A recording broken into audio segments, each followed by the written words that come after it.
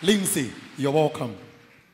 His Excellency, President Honorable William Samoei Ruto, all dignitaries present, my bishop, clergy, guests, and priesthood family. Praise the Lord. Praise the Lord again. My name is Lindsay Gitahi, and I'm humbled to stand in front of you. I would like to begin by thanking the Lord for granting us this day, for giving us health and life to gather here today. For it is not by granted, it is not by might, not by power, but by His Spirit, and He deserves all the honor and glory.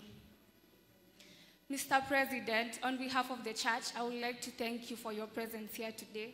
Personally, I'm grateful for having been given a chance to address you for a second time. It's an honor. Three years ago, I addressed you in this same altar, and we discussed two things which we agreed on.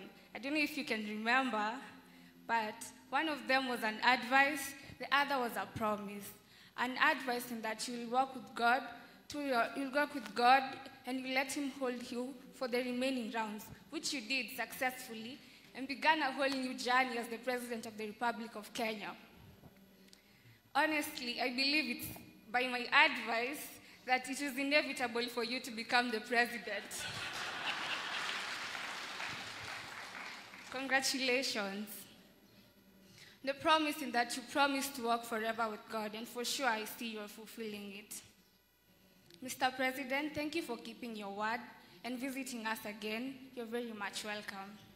In conclusion, Mr. President, I would also like to invite you to visit our Shosho, who has priesthood family. We are aware she is sick and at bed rest. So if you can, pay her a visit, please. as I conclude, thank you all for giving me audience. It's an honor standing in front of you. And as it happened three years ago, handshake, please. yeah, thank you. God bless you.